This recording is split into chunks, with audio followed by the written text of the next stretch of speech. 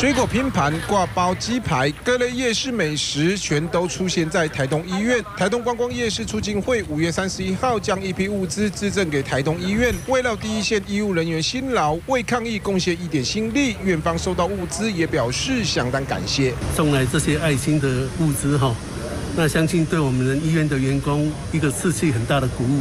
既然这一段时间都停业在家，那倒不如。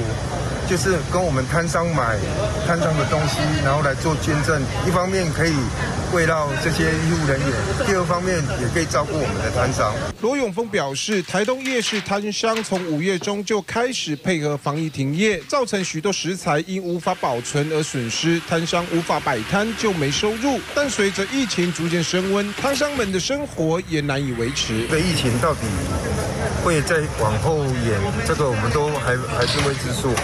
那我们原则上摊商都是配合政府政策，整个哦，因为防疫不分大家不分你我，希望大家能够度过这个疫情。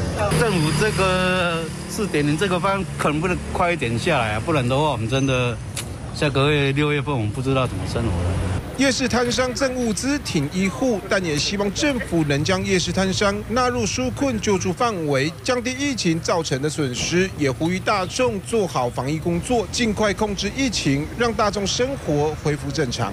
原新闻不亚的台东市采访报道。